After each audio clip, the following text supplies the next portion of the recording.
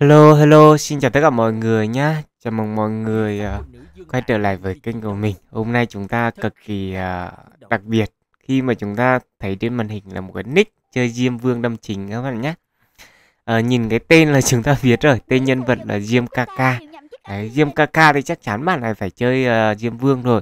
Và uh, chúng ta cùng nhau cùng xem là Diêm Vương có gì đặc biệt nhé. Nói về Diêm Vương thì nó cũng không khác gì tỷ Lam Bà Phe Thánh, nghĩa là một trong những thần tướng mà khó có thể cải chay được các bạn. Diêm Vương là một trong những thần tướng khó có thể cải chay thì chúng ta cùng nhau phân tích câu chuyện là tại sao Diêm Vương lại khó cải chay như vậy. Ở trên màn hình của các bạn là một đội hình minh giới với uh, lối bi là bao gồm một Diêm Vương tướng đỏ, ấy, có đế thính tướng đỏ là hai tướng đỏ, uh, có hai mạnh bà, Bách Nhãn Quân và Bạch Thử Đấy, và chúng ta cùng nhau đến nhân vật chính nha. Diêm Viên, ờ, Diêm Vương ở vị trí 1, đế thính ở hàng sau. Vậy là đế thính là ăn luân hồi luôn nhé các bạn. Đấy. Và chúng ta thấy điều bất ngờ ở nick này là các bạn ấy lên phá cảnh cực kỳ tốt nha các bạn. Lâu rồi mình mới thấy một cái nick lên phá cảnh. Mà thôi mình nghĩ là nick này chắc chắn là nick tốt rồi. Thấy chủ nick bảo là nick này là nick nick tốt rồi. À, mình check nào, nick này là bao nhiêu nào. À, nick này là bao nhiêu trời hoàn trả nạp này. Nạp tầm khoảng ờ, uh, 23.500 thiên bảo tương đương với 46 47 triệu ấy. Nói chung là uh, cũng ổn đấy các bạn nhé. Với 1 tỷ 7 lực chiến ở server uh, server là, là tiệm cận mới. server này bây giờ xe chuỗi server được chia cụm rồi nhá. Bây giờ thì chúng ta sẽ tính theo cái chiêu tải đi gọi là đây là server thuộc cụm chiêu tài 2 đúng không? Đấy để chúng ta ừ, dễ tưởng tượng hơn. Bởi vì thật ra mà nói mà từ server 1 đến server 64 thì điều đó là cũng phải hai tháng ấy. Còn những server này thì thường sau thì ra sẽ chậm hơn. Một tuần bây giờ ra khoảng một server thôi. Nên chúng ta phải à, tách cụm dần nha các bạn. Bởi vì thật sự là mỗi cụm thì nó có một cái meta đánh khác nhau các bạn nha, Nó không hề giống nhau bởi vì nó ảnh hưởng bởi việc mà quá trình thức tỉnh sớm hay là update chiến linh hay là update nhiều cái mới nữa. À, chúng ta trên màn hình chúng ta thấy là một diêm vương. Ui và ai hai đồ hồng hoang có một hồng hoang kỹ năng là cái gì đấy? Có một cái minh văn kỹ năng là xóa hiệu quả gì thường. Ok cũng được đấy khi hiệp bắt đầu. Và hầu như là diêm vương đánh hiệp cũng khá là tốt bạn này đang đi một diêm vương với ba cái thiên kỹ bao một là thiên kỹ tôn ngộ không rất là trâu đam rất là tốt và hai hiệp đầu. Thứ hai đó là chân quân hiển thánh tăng lượng đam 25% đấy cộng dồn tối đa 6 lần. Đấy. 25% sát thương nhé các bạn. Mình à, nói đam hơi nhầm. Sau khi thi triển kỹ năng sử dụng nhện nha các bạn. Thì không biết là nếu mà diêm vương mà đi nhện thì nó có dòng dương tiễn không? Đấy, hiện tại thì nói về đi thiên kỹ nhện thì uh, Dương Tiễn hiện tại là đang một trong những thần tướng đi thiên kỹ nhện ngon nhất. Vậy thì chúng ta cùng xem mà Diêm Vương có đi nhện có ngon không. Nick này là có thể là một nick top đấy các bạn nhé. Từ từ mình check một chút nữa về nick top đã. À chà. Nick này là top 2 server các bạn. Top 2 server và cùng chung server với bot, bot táo nhá. Mà nào chơi nhiều cũng biết là bot táo ở cụm này khá là bà các bạn. Bởi vì thật sự mà để lên được 6 tỷ lực chiến là không phải chuyện đùa đâu các bạn Với phá cảnh 8 đấy các bạn. Là các bạn cũng tưởng tượng ra được bón tâm huyết với nick như thế nào Và cũng đã uh, đầu tư vào cái account này một số lượng tiền cũng này nọ đấy. Này nọ đấy các bạn nhá để để để để được một cái nick như thế này. Ôi, đợt nào làm clip cho bọt, bọt táo riêng đi. Bọt táo bây giờ nó cũng phải về một clip riêng đấy. Bởi vì nick này uh, là tiên đi thái bạch kim tinh kèm mà natra. Uh, ờ, mình check một tí thôi, tí check đi. Uh, chúng ta tiếp tục với Diêm Vương này. Diêm Vương hai món hồng hoang, pháp bảo 95 bạn này lên pháp bảo cực kỳ tốt luôn. Nếu mà những người mà lên pháp bảo tố tỷ ít nhất cũng phải là phân cứng của kênh mình nếu bạn bởi vì kênh mình mình cũng khá là đề cập đến vấn đề pháp bảo khá là nhiều. À, tiếp theo nữa này, à, chúng ta cùng xem kỹ năng của Diêm Vương nhé. À, kỹ năng đánh thường không có gì thay đổi đâu. Kỹ năng uh, kỹ năng đầu tiên là gây cho sát thương phe địch 240% khi mắc và 60% là mục tiêu túng độc.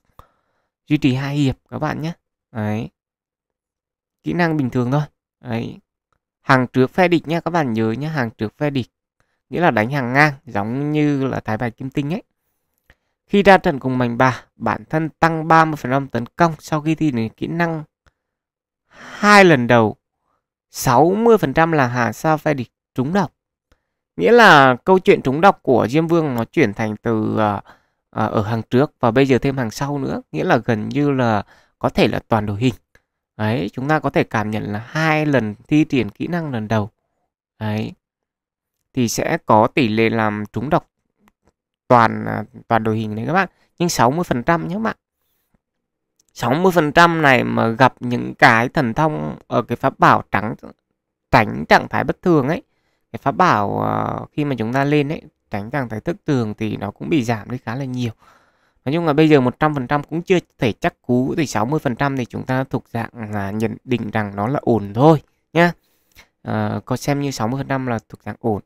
Vì thế uh, đôi lúc bây giờ các bạn chơi đốt chơi đọc cũng phải mắc mang thêm mấy cái thần thông tăng tỷ lệ trúng độc nữa các bạn nhé đây sau khi mục tiêu bị trúng độc thì tăng 30% sát thương thì nó cũng giống như uh, Nata mà khi mà nhận hiệu quả uh, đốt ấy, kẻ địch bị đốt thì tăng 30% sát thương thì lượng đam cũng khá là ổn định. Tại sao mình hay liên đới sang những cái tướng khác để cho các bạn cảm nhận rằng tướng này có thể có đi đi đam được không? Khi mục tiêu trúng độc tấn công bản thân tăng 30% giảm sát thương, nghĩa là Diêm Vương thì nó sẽ tổng hợp vừa công vừa thủ khá là toàn diện. Nếu mà giảm 30% sát thương này nó này cũng không khác gì là cái bảo hộ của uh, của Tiểu Bạch Long đúng không? Tiểu Bạch Long khi mà bảo hộ cho đồng đội cũng nhận được 30% giảm sát thương cũng là option kiểu vậy. À, tiếp theo nữa là đột phá 11 này. Khi mục tiêu địch bất kỳ kết thúc trúng độc, 50% là mục tiêu trúng độc, duy trì hai hiệp. Cái này thì giống cái gì các bạn? Nó giống giống ai? Giống thức tỉnh của Ngọc Diện Hồ Ly. Ngọc Diện Hồ Ly thức tỉnh để có tỷ lệ uh, làm cho kẻ địch uh, tiếp tục bị đốt. Vì thế việc mà sử dụng Diêm Vương trong đội hình thì uh, cái việc mà kẻ địch bị trúng độc liên tục là rất là tốt. Nói chung là để mà chơi Diêm Vương ấy mình nói thật là nó khó. Bởi vì khó là tại sao phải có người chuột bạch và đây là một trong những bạn mà đi đầu phải gọi là chuột bạch ấy. Thì để cho mọi người cảm nhận được rằng Diêm Vương nó chơi có ổn không thì lúc đó chúng ta mới tìm ra cái meta cho cải chay chứ thật ra mà để mà à, nói về cái nông dân cải chay mà giai đoạn đầu đi diêm vương là nó hơi áp lực. Còn vấn đề sau này diêm vương thất tỉnh như thế nào thì đó là câu chuyện của sau này đi nha các bác. Các bạn cứ theo dõi kênh của mình ấy kênh của mình là nó hơi lẩu thật cầm một tí. Cái gì mình cũng có câu chuyện cho các bạn xem thôi. À, đột phá 15 này trước khi bắt đầu chiến đấu thì Diêm Vương rơi vào trạng thái chúa tể địa ngục. Thì thôi cái thiên kỹ chúa tể địa ngục này các bạn cũng biết rồi. Nghĩa là Diêm Vương càng đánh càng lâu ấy thì uh, Ừ, đám đam rất là to. Thứ hai là diêm vương là đúng kiểu là công thủ toàn diện, vừa là tăng đam, vừa là tăng máu. Đấy, kẻ địch mà chế thì diêm vương rất là khỏe. Chúng ta sẽ nói về phá bảo nhé đây, cái phá bảo của diêm vương thì khá là hay. Sau khi kết thúc hiệp, ở đây, khi mục tiêu địch trúng độc bất kỳ bị đánh bại, tăng một lần tấn công, các bạn nhé cái tăng một lần tấn công này thì không biết nó tính là hiệp không cái câu chuyện này thì nói thật là cái mà các bạn cũng lên xem cái clip mà mình làm ở trong phần hướng dẫn tất tần tật, đó là clip về hiệp và vòng. Hiệp là gì, vòng đấu là gì? Thì lúc lúc đó các bạn mới hiểu sâu về cái dòng chảy của đam, hiểu sâu về những cái gì đó nó nâng cao hơn các bạn nhé. Đấy, nói chung là trước khi chúng ta hiểu cái kiến thức nâng cao, chúng ta phải hiểu về cái kiến thức cơ bản, về cái chỉ số thuộc tính cơ bản đã. Gây cho toàn bộ phe địch 82% sát thương phép nghĩa là cái lượng đam này cũng mang tính chất ổn định nhé đam này nó nó gọi là đam nhỏ giọt đấy. Vì thế chúng ta hay cảm thấy là diêm vương là một trong những tướng mà đam nhỏ giọt. Bởi vì các bạn tưởng tượng là 82% sát thương phép thuật này nó tương đương với một lần giật phong hỏa. Một lần giật phong hỏa thì ở khu cũng cũng tùy nhé đây đây cho các bạn tương đương nó tương đương với bao nhiêu? Nghĩa là nó bằng khoảng à, 83 đúng không? 8324 đi, nghĩa là nó bằng 1 phần 3 lần ra kỹ năng.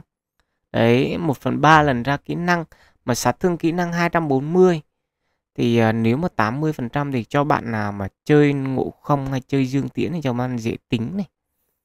dương tiễn là sát thương vật lý đi tăng của nó là 300 nghĩa là nó sẽ bằng khoảng 1 phần 4 1 phần 4 lượng đam của dương tiễn bằng 1 phần 3 lượng đam của thái bạch kim tinh ra kỹ năng nhé bằng 1 phần 3 lượng đam của tỷ lam bà kiểu kiểu vậy nha các bạn cho các bạn dễ, dễ hình dung. Còn bản chất tỷ diêm vương là một vừa một tướng là nửa nửa đam nửa nửa tanh. À, đúng rồi nửa đam nửa tanh nhé diêm vương kiểu kiểu vậy. Thì tại sao nó lại khó có thể hợp được với meta Việt Nam? Bởi meta Việt Nam thì thường mọi người sẽ chuộng tướng siêu đam hơn. Đấy mọi người cũng thích tướng siêu đam hơn thì cũng rất là ok thôi nhưng uh, chủ nick đang sử dụng thiên thủ uh, cái thiên kỹ này thì tí, tí nữa chúng ta cùng nhau xem phân tích nhé. Về vấn đề thần thông thì chắc chắn không thể thoát được cái uh, bát bảo kim thân rồi. Đợt, tiếp theo nữa sử dụng thêm thần thông phắc sóc mê ly. Đợt này mà minh giới có một hướng đi khá là hay. Khi mà cho tướng chính của mình ấy là tướng nam ấy ví dụ như Natra hay là uh, Diêm Vương đúng không? Thì chuyển sang làm uh, giới tính nữ để nhận thêm hiệu quả của hiệu, hiệu quả từ thiên kỹ bạch thử chẳng hạn. Hoặc là một số cái hiệu quả khác hoặc như là né tránh những cái hiệu ứng bất lợi từ những cái meta tốt Đấy, meta tốt thì đa số bây giờ mọi người chi hiệu ứng có những cái hiệu ứng mà gây hỗn loạn gây hiệu ứng đối với những tướng mà lệch giới mình. Đa số thì mọi người sẽ lắp từ nữ để chuyển sang lệch giới nam. Bây giờ vì thế mà các bạn hay tư duy là chuyển tướng đâm, đâm chính của mình sang tướng nữ. Thêm uh, thần thông này nha các bạn thêm thần thông này thì ờ, tăng cái tỷ lệ trúng độc lên nha các bạn nhé khá là ngon. Uh, thêm cái thần thông tam mùi châm hỏa nữa. Đấy. Đấy nó lại là tăng tỷ lệ trúng độc và thiêu đốt các bạn nhé thì nếu mà sử dụng cái thần thông tam mùa chân hỏa này thì ờ, nó sẽ gây ra trạng thái đốt nữa các bạn nhé, bởi vì mình thấy chữ và thiêu đốt và trúng độc. Đấy. Còn mà cái thần thông tam tiêu độc hỏa này thì nó là chữ hoặc. Đấy, khi tướng sở hữu nghĩa là cái thần thông này chỉ đang sử dụng cho về vấn đề hiệu ứng gây thêm không kích hoạt tính năng của thần thông này thì không biết là cái hiệu ứng gây thêm này có kích hoạt là cái thần thông tăng một chân hỏa không? Thì mình cũng không rõ nhé bạn nào confirm cho mình tí. Ok chúng ta sẽ quay đến những thần tướng khác này. Những thần tướng khác thì chắc mình sẽ đảo qua nhanh một tí thôi nhìn đây cho nó dễ. À, tinh luyện rất là ok. À, đấy về vấn đề thiên kỹ này có tiên phạt chế nhân ở vị trí của mạnh bà triệu môn món quý và kiểu hoa ngự linh ở mạnh bà nhá. Hóa thân rồi bạn này hóa thân mạnh bà đúng không? Tiếp theo nữa chúng ta thấy là Diên Vương không nói làm gì đế thính là đi bổ thiên kỹ khá là trâu. Có đi thêm hiệu ứng sắc thị không nữa nhé. Tại sao lại đế thính là để sắc tức thị không? Bởi vì uh, bạn này biết rằng đế thính của mình rất là trâu chẳng hạn. Có thể đánh được rất là nhiều vòng. Vì thế thì muốn là đánh sang những đầu vòng 2, đầu vòng 3 thì vẫn bật được sắc tắc thị không tiếp. Thay vì việc cho những thần tướng khác. Hệ nước luân hồi đang, hiện tại đang để cho Bách Nhãn Quân. Đây không phải là đi Bách Nhãn Quân phản đam mà đang đi Bách Nhãn Quân à, luân hồi nha các bạn. Bách Nhãn Quân có nhiều hướng đi các bạn nhé. Về vấn đề bạch thử thì đang đi bạch thử hồi máu đúng không nhỉ? Bởi vì thấy khô mọc hồi xuân và mạnh bà. Mạnh bà thì có hồi sinh, nói chung là đợt, cái lợi thế của minh giới là sẽ thêm được một lần hồi sinh. Nhưng này mà sau này à, lấy à, Nata nữa thì sẽ thêm một cái hóa thân nữa khá là ok cho hóa thân vào một thần tướng khác thì nó cũng rất là ok nha các bạn ví dụ như cho hóa thân vào đế thính đi thiên ký hóa thân cho vào đế thính vứt sắc tắc thì không sang cho bạch thử chẳng hạn. Đấy. Thì nó cũng có rất nhiều góc nhìn. Ở bách nhãn quân có định phong ba này. Diêm vương thì đi uh, đi kỳ vật tấn công.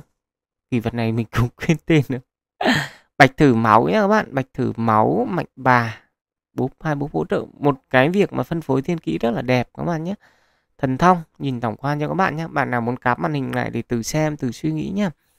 À, chắc chắn rồi.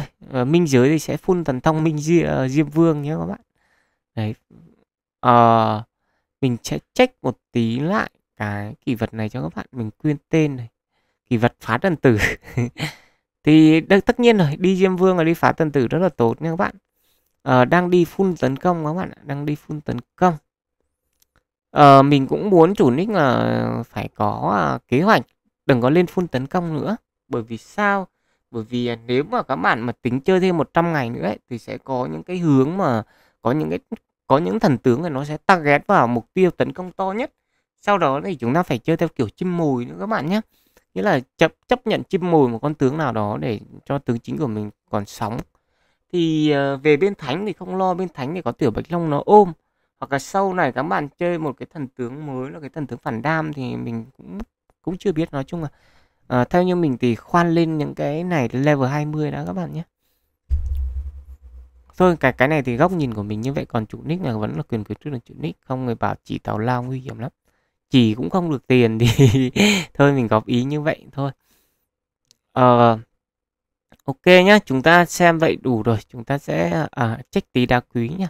Xem tư duy đá quý của bạn này là tư duy đá quý ở. À, tư duy đá quý công thủ toàn diện các bạn nhé tất nhiên là chơi một minh diêm vương đam chính. Đối quyết vinh dự đối quyết vinh dự đang hạng 3 khá là tốt các bạn nhỉ? Chứng tỏ là cái server này cực kỳ mạnh nhá. Server này hàng 1 và hàng 3 là server này chiếm vị trí rồi mình cũng khá là tiếc, nếu mà mình tốt nhất là mình nên vào cái nick này vào cái giải liên server thì nó hơn. Chúng ta có thể xem được cái giải liên server. Ok, sợ như thế này thì sợ khó ghép lắm các bạn. Bởi vì thật ra là đây, có khi là phải mình, tại sao này? Thứ nhất là bạn này nếu mà hạng 3 thì đa số là sẽ ghép hai bạn này, top 1 và top 2 mà ghép top 1 top 2 thì thắng kiểu gì được các bạn? Người ta mạnh quá thế thì chúng ta sẽ xem uh, đây đi. Xem một tỷ tư này một natra à, kèo này cũng được đấy một tỷ bảy đánh một tỷ tư. Gặp một à, uh, natra minh giới có đam phụ là nhện cả. Các bạn ạ đam phụ là nhện không chơi đế thính. Khác nhau bởi uh, tướng giới hạn thôi. Ôi dính trượt giới các bạn nhé Đấy, dính quả trượt giới như thế mà vẫn có cửa thắng kìa.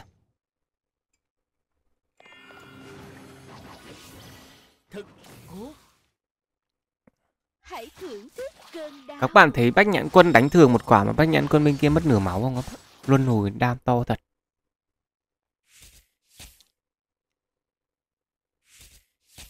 Các bạn thấy là người bạn à, à, team bên này là phá cảnh chín đấy bạn. Cũng có nhìn hơn một tí về số ngành level. Ui. Hãy thử công thức mới của ta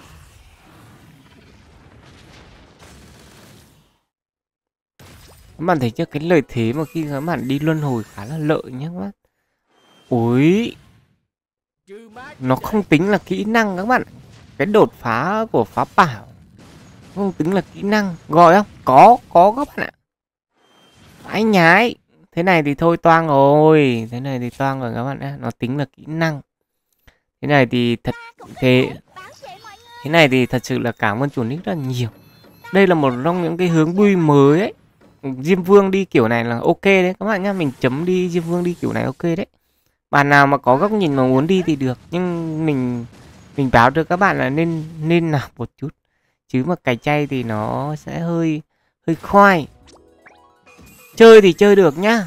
Cày chay chơi được, nhưng ít nhất các bạn phải trên 300 ngày. Tại sao mình phải nói đến câu chuyện trên 300 ngày?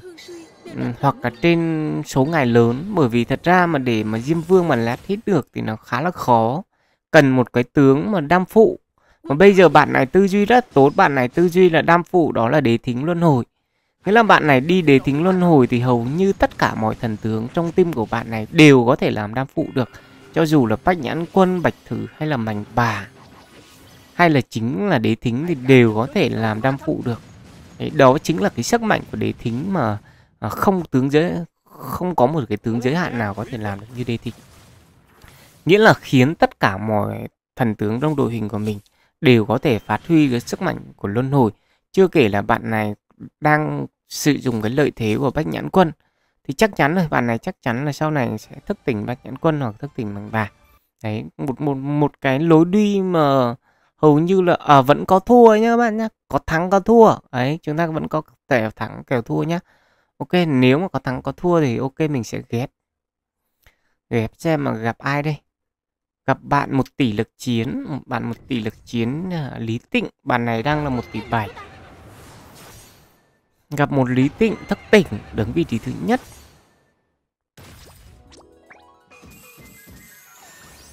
Ờ, nói muốn nhớ là bạn này đang đi tiên phạt chế nhân đang đi tiên phạt tế nhân ở vị trí mạnh bà thì nếu mà kích được tiên phạt thế nhân thì Diêm Vương sẽ ăn được cái hiệu quả đột phá của mạnh bà nhé. Còn Bạch Thử thì sẽ ăn ui các bạn thấy chưa? Một quả một quả luân hồi mà đi kìa các bạn kìa. Đấy các bạn thấy chưa? Chưa hề đúng nhá, chưa hề đánh đến tới đam nhá, hầu như là chúng ta thấy là đây là một trong những minh chứng cho các bạn minh giới ấy, mình nói thật nếu mà minh giới muốn mạnh ấy, thì bây giờ chỉ có đi luân hồi, đi đế thính các bạn nhé. Ờ, mình chế rồi mình quyên chỉnh. Đây đây là minh chứng cho việc mà đi luân hồi mắc ping. Đấy. Thôi thắng rồi các bạn ạ, thắng toàn diện luôn. Nghĩa là như thế này. Chế rồi mình à, lúc nãy nói đến giờ mình chưa chỉnh lại cái âm thanh cho các bạn. Không biết các bạn có nghe được không? Cái câu chuyện nó diễn ra như thế này các bạn này. À, xin lỗi bạn uh, tiên giới tí nhá. Mình làm nick lấy nick bạn làm cái tiêu chuẩn để cho mọi người phân tích câu chuyện. Thứ nhất là diêm vương đánh diện rộng đúng không? Đánh sóng mục tiêu. Thì nếu mà các bạn đi luân hồi ấy như thế này ấy, thì sẽ bật hai cái luân hồi khá là sớm.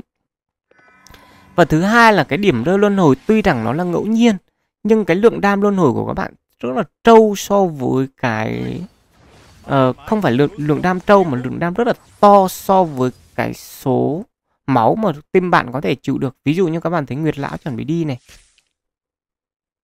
Đấy các bạn thấy chưa? Bây giờ là vừa bị đọc các bạn thấy chưa? Nguyệt lão đi này tiếp theo là thiên hậu này. Đúng không nhỉ? Lúc này mình nhớ nhịp là đấy một phát luân hồi. Không cần phải đam đam gì đâu chỉ việc là đi kích luân hồi đâu. Còn một lần luân hồi nữa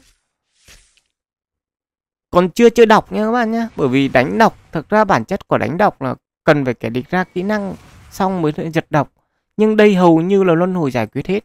Và các bạn thấy lượng máu hụt từ đế thính và bách nhăn quân không? Thế thì bây giờ mà nếu mà thật sự mà như thế này xảy ra ấy, thì hiện tại mà nếu mà mọi người minh giới mà biết tư duy kiểu này thì thề luôn. Mình cam đoan là ở meta cải chay ấy, là minh giới đứng số 1 bởi vì cái nhược điểm của Meja nông dân cải tranh là mọi người không nuôi quá nhiều tướng. Và chỉ cần bị dính một phát luân hồi là hầu như đi cả tim luôn. Tại sao? Nó sẽ là cái dây chuyền của đam nhất tiến mai nữa. Nick này còn chưa đi nhất tiến mai đấy. Đi nhất tiến mai mà đam thừa mà nó giật như phong hỏa thì có khi thì luôn các bạn các bạn tốt nhất là các bạn đừng có xem kênh của mình. Mình sợ lắm các bạn mình sợ kênh của mình lắm càng ngày mình càng sợ chính bản thân mình bởi vì mình mình mình chơi nhiều mình nghĩ ra những cái cái cái hướng. Thôi thì chúng ta có thể uh, chấp nhận rằng đây có thể là một trong những đội hình binh giới ngon. Các bạn nào mà sau này muốn trùng sinh minh giới thì cũng có thể uh, trùng sinh chơi server mới có thể đi hướng đi như này được. Mình đã cạp cho các bạn cái ờ, cái cái cái mục mục đích các bạn chỉ cần nuôi đế thính làm diêm vương trâu ấy, nuôi bách nhãn cân máu. Nuôi bạch thử hồi máu.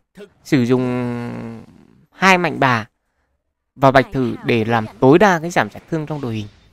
Đấy, sau này có điều kiện thức tỉnh thêm bách nhãn quân nữa. Số rách các bạn ạ. Phê đến tận phê như con tt luôn các bạn ạ. Đấy. Đây bị kém này. Nói chung là cái đặc điểm của diêm vừa diêm vương thì ờ, nó khá khó, thắng được tranh lực chiến. Nhưng nó là một trong những thần tướng tràn cổng rất là tuyệt vời. Nếu mà nó diêm vương tràn cổng rất khó đánh tranh lực chiến. Bởi vì sao đánh tranh lực chiến thì các bạn cần phải đam siêu to, thì các bạn mới đục được xuyên người khác. Còn mà diêm vương mà để đánh tranh lực chiến thì nó cực kỳ khó. Không phải không đánh được nhá, vẫn có đánh, nhưng cái so với những thần tướng khác nó không có. Tại sao? Bởi vì khi mà các bạn đánh thành cổng thì nó khá là dễ, bởi vì trành cổng thì những người đánh dưới mình chắc chắn người ta sẽ khá là yếu. Hầu như các bạn để ý mà coi các bạn mà mình đã từng ở server 1 mình mình đánh rất là nhiều lần. Mình đánh những người chơi diêm vương được và mình biết là hầu như mình không thể chặn được.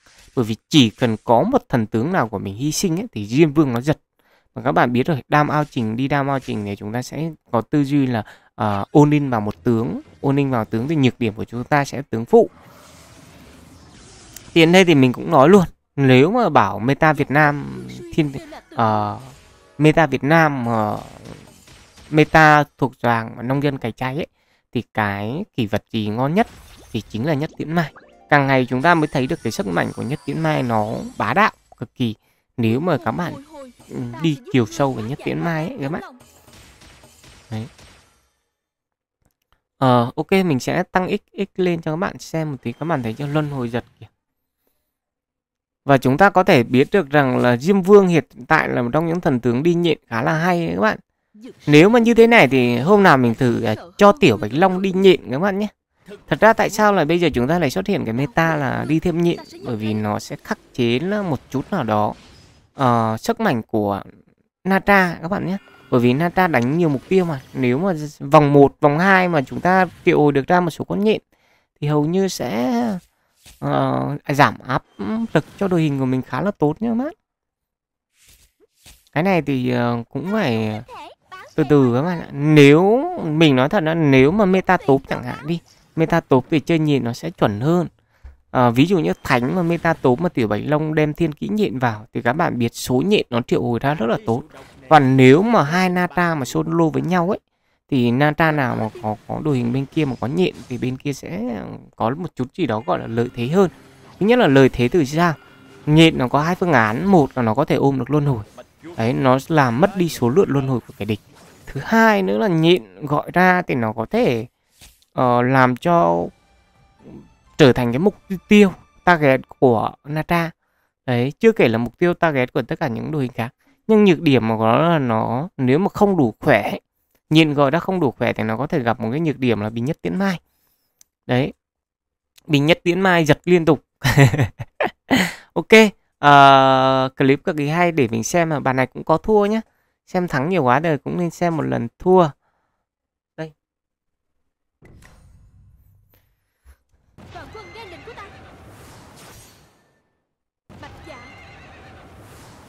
Ừ, uh, đồ hình của bạn uh, chả do chả chả giò. Chả giò đặt tên hơi hơi hơi, hơi đọc không quen mình quen đọc và giò chả bạn này đặt chả giò. Uh, bạn chả giò. Ui các bạn thấy chưa? Một quả luân hồi kìa. Hai quả luân hồi mà một quả luân hồi mà bạch thử suýt đi.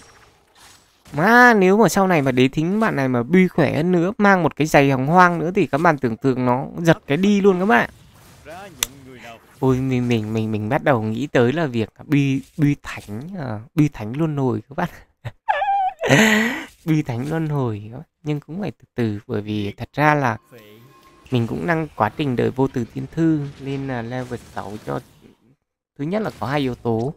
Uh, để mà đi làm luân hồi đối với mình bây giờ là thứ nhất là mắc thiên kỹ đế thính này nói chung là cũng phải có kế hoạch là mắc tiên kỹ đế thính mắc đế thính thì lúc đó mình sẽ chuyển sang đi luân hồi. Đi luân hồi liên kích các bạn.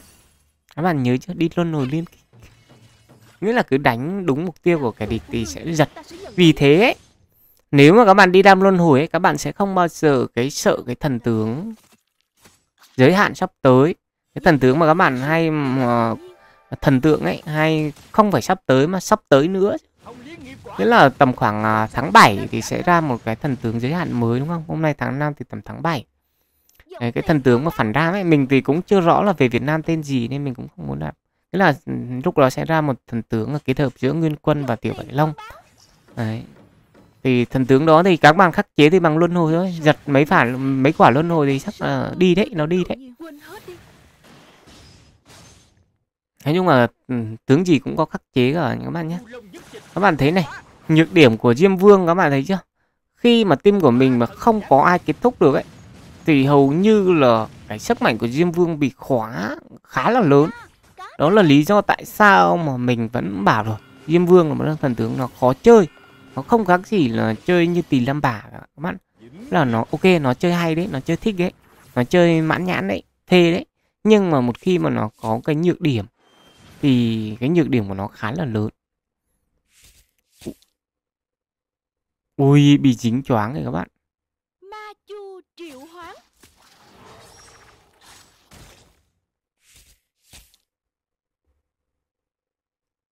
Linh hồn bồi hồi, ta sẽ giúp ngươi quá giải quan mang trong lòng. Vậy là nick này muốn thắng bạn này. Ui, các bạn thấy đọc chưa? Ai lâu rồi chúng ta mới thấy cái sự xuất hiện của meta đọc nha các bạn nhé nhưng mà meta đọc nó khó khó chơi hơn ờ, meta đột nhiều. Đột có lợi thế các bạn thấy chưa? À, bên kia thì vẫn đang còn à, đấy nói chung là có thắng có thua nhá. Nhưng mà chủ nick bi rất là tốt không rất là tuyệt vời rồi. À, cái mà thua này thì hy hữu thôi. Còn mà gặp táo thì thôi gặp bó táo thì thôi tôi tôi tốt nhất là không không không không, không lên xem. Các bạn thấy chưa? Nghĩa là bàn này đánh với bàn trà giỏ này thì ờ, giỏ trà giỏ thì ờ, uh, 10 ván thì bàn này có thể là thua một ván thì nó không sao bởi vì thật ra là cũng có tranh nhau một chút lực chiến. Nghĩa là cả hai bên đều build khá là tốt nhé đấy một cái đội hình uh, minh giới diêm vương cực kỳ uh, bắt mắt.